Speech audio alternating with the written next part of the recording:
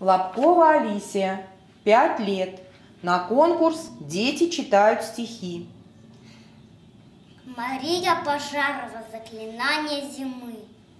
Разукрасилась зима на уборе бахрома из-под из прозрачных льдинок, звездочек, снежинок, вся в жемчугах, разоцветных огоньках, льет вокруг сияние, шепчет заклинание, лягте мягкие снега на леса и на уга, тропы застелите, ветви опушите, на окошко Дед Мороз, сбросай хрустальных роз, легкие видения, хитрые сплетения, ты метелица, гуди, хоровода заводи, Звей себе вихрем белым, в поле посиделом, Спи, земля моя, усни, сны волшебные храни, Жди в парчу одета нового рассвета.